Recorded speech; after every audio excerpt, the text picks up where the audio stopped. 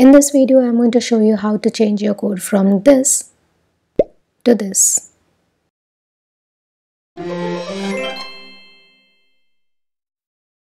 For step 1, go to the top right corner of the screen, select on code, open preferences and then select settings.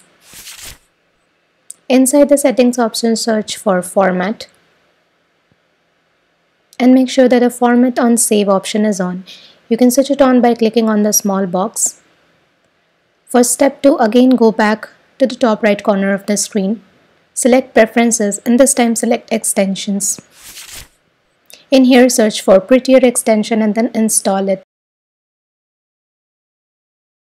By the way, I've put all the steps in the detailed manner inside the description box below so if you want you can go ahead and check that out.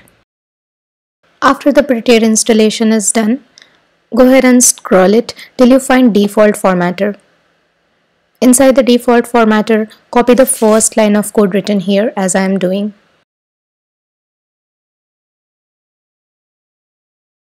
After copying this particular line of code, again go back to the settings option and this time search for JSON.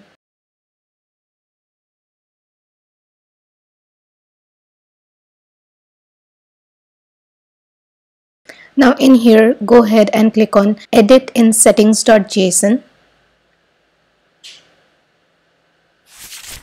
And at the last line, don't forget to put a comma and then paste the code that we have copied from the Prettier extension. After it is copied, make sure to save this file.